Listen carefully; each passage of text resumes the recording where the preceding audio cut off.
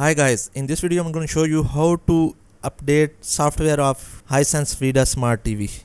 Watch the video complete, don't skip any part, subscribe our channel and like the video if this helps. First of all go in the TV settings. Now scroll down to sport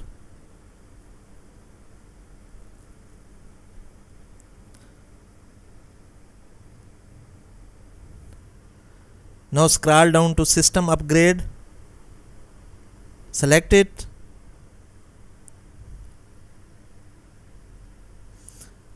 And now scroll down to check firmware upgrade.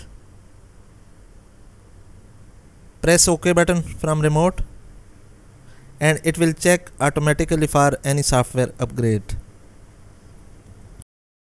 If there is any update available, the TV will tell us that what is your current version and what is the latest version available. If you want to upgrade, press OK on upgrade from your TV remote. Then the TV will automatically download the software and install it.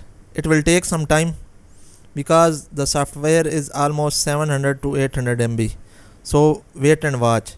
You can also choose to download in the background download progress can be viewed in settings. If you want to enjoy any your tv program then download will be continue in background.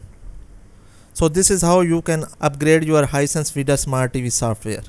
Hope this video helps. Thanks for watching. Goodbye